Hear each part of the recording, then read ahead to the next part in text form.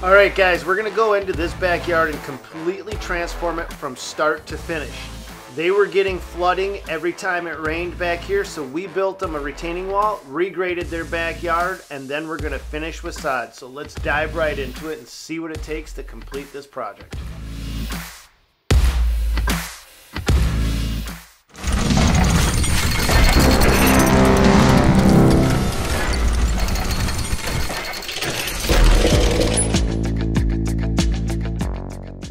We start the project with the grading. This is our main priority.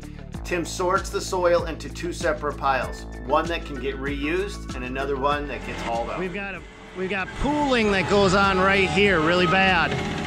We're gonna get everything to flow down and around. You can see the backyard's fairly flat. We got a nice aggressive pitch going here. So we've got to catch this and get it to come to the side and down. We get the rough grade set because that determines the bottom elevation of the retaining wall which gets installed next.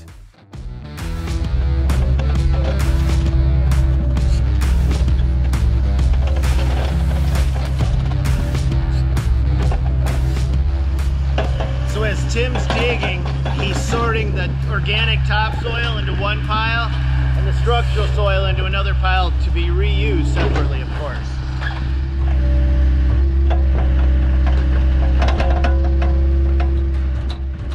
He doesn't take big bites because he wants to make sure to keep those two types of soils separate.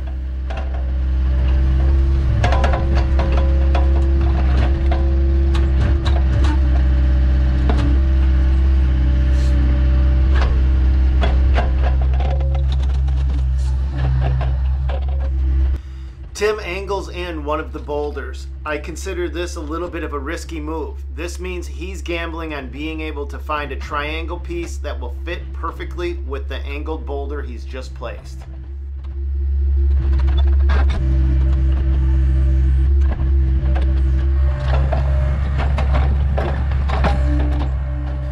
We use the CMP Hydra Grapple. This allows us to angle the stones and flip them around with ease.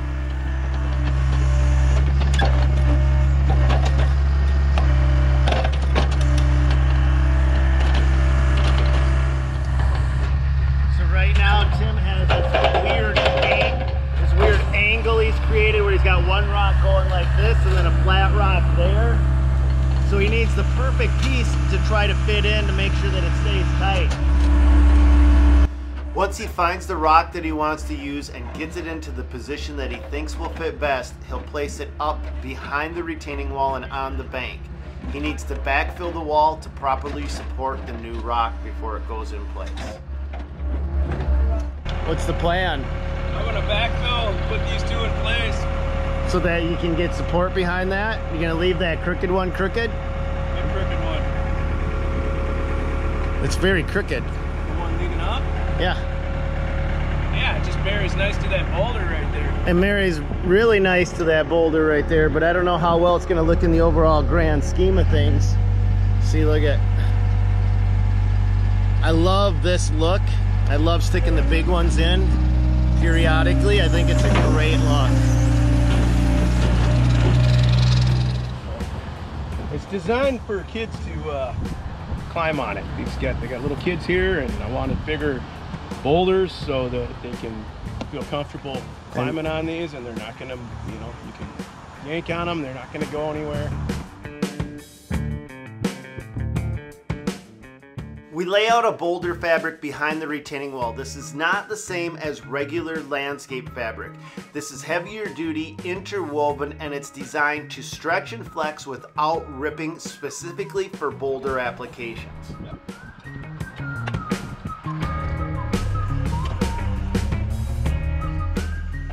As we build up, we need to continue to backfill because the new stones that get placed need to be married into the stones below them and the soil behind them.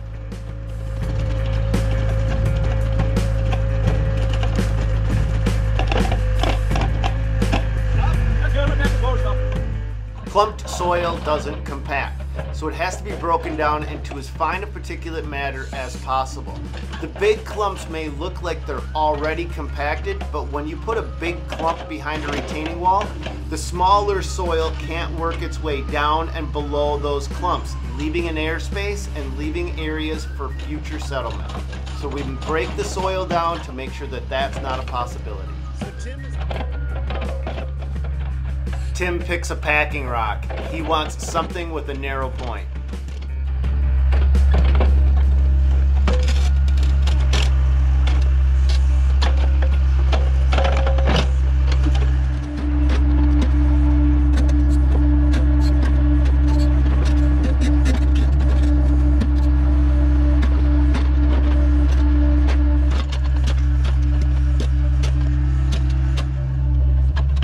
Soil gets placed and feathered in small lifts.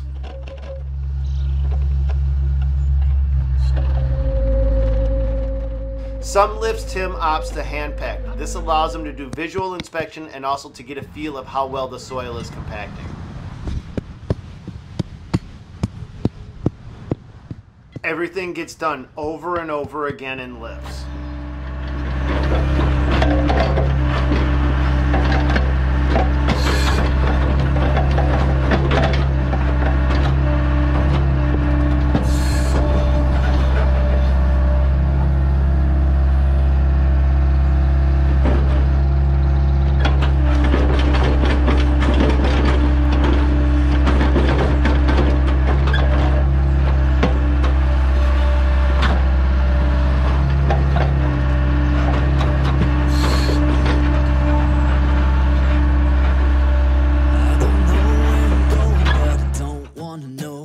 Predictable life is not what I want. Putting one foot down, one step at a time. Let the road turn, ashes fine.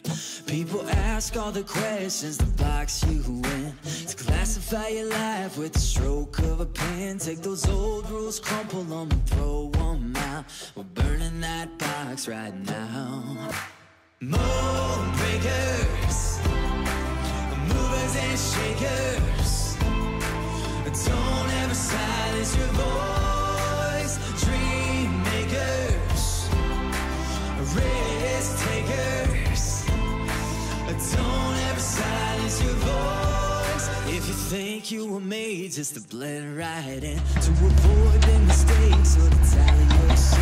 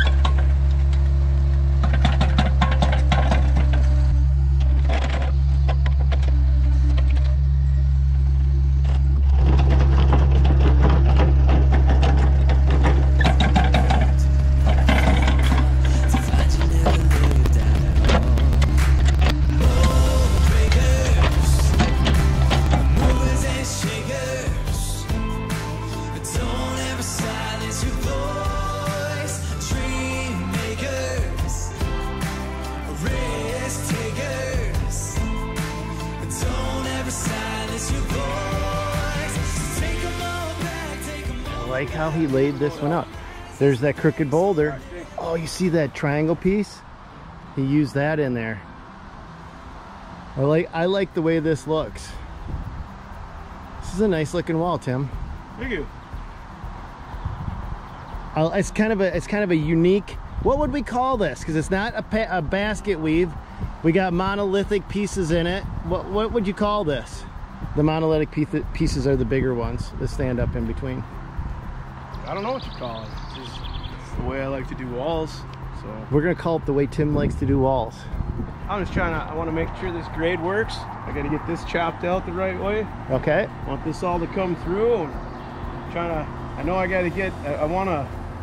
I got clay and then we got black dirt. So I'm trying to save the homeowner money because we scrounged up enough black dirt to try to. So you got to get this deep enough.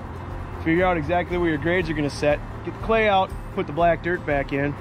He also wants us now, if we have room in the budget, to move all this, move a bunch of this rock underneath the deck and fill that area up. So I gotta leave some dirt because he's kind of worried about water puddling up in there. Oh, so you, you're gonna need some clay for that. I might. Now I gotta, I wanna get John here. I wanna at least get rid of a load of it. With the wall in place, we can reconcentrate on the grades and get it prepped for sod. Subgrade has to be cut down enough to allow us to add black dirt back in without altering the course of the flow of water.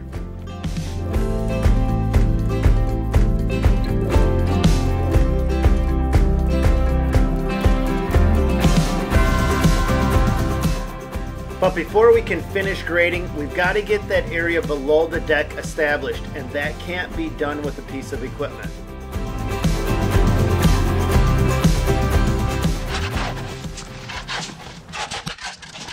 They need to add soil below the deck to keep the water from pooling. So the decorative rock gets moved to the side, soil gets added in, and then the rock gets put back in place. We've got to get the water to flow from below this deck, through the backyard, down the side yard, and out to the street. I came from the mud. There's dirt on my. Strong like a tree. There's roots where I stand. Oh, I've been running from the law.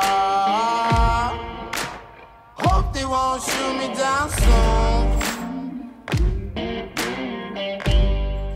With sod on the way and rain scheduled, the site gets tarped. This will be a good test to see how well the grades we've worked hard at are performing.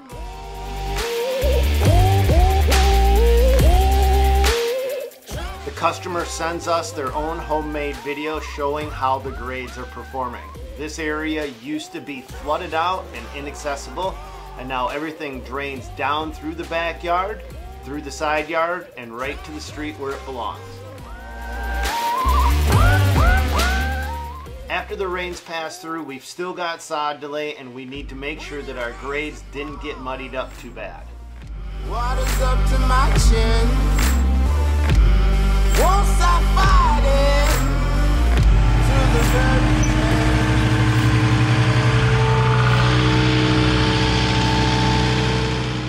Sod arrives the next morning right on time, but that doesn't mean our site is ready. We've got some small holes to patch after the thunderstorms went through. Mainly the footprints where Tim walked from tarping and untarping the So we site. CMP the entire lot, but then we had three inches of rain. Even with it tarped, still not quite ideal. So now we're gonna go over the grade with some dry soil and just fill in any little tiny pockets that we find.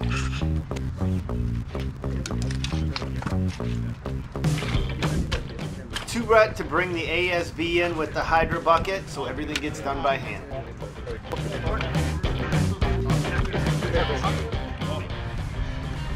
Live action! Whatever happened to the turtle man? Dude, I don't know. that was pretty good. man. Yeah, yeah, yeah, yeah, yeah. I, couldn't, I can't even do what he did.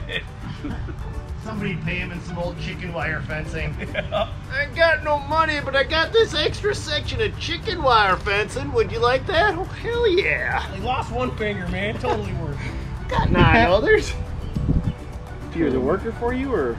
Turtle No, Man? He was on, uh, you know how much of that's made up, but he was on Discovery Channel or some one of those. Turtle Man was the most redneck hillbilly. Jump in a pond, go down to the swim to the bottom, grab a snapping turtle, come up, go down with 10 fingers, come up with nine, and still be smiling, going live action. Once the grades get set, the sod can finally start to go down. When I wake up in the morning, drinking coffee on my balcony, trees are dancing to the whistle of the wind. Lord, I'm thankful. Everything gets cut in around the bottom of the boulder walls.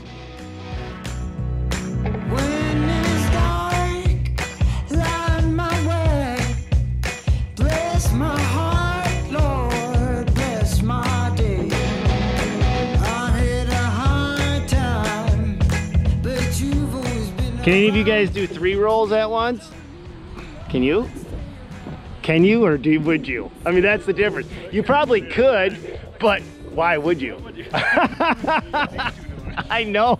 I'm watching Alex and he's over here trying to have three at a time and I'm like, I've never actually seen anybody do that before. Three, but my arms aren't long enough. So you have you done three? Yeah, I just did three, but my arms aren't long. I didn't see it, so it didn't count. You could say you did three, but I don't believe you. One, two, three. Oh!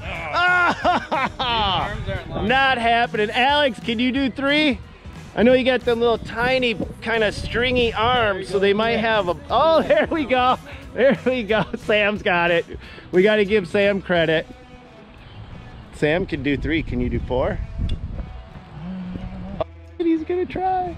Oh, shnikey, Sam. He's going for four. Look at that. Look at that. Oh, too bad I didn't have the camera on. He's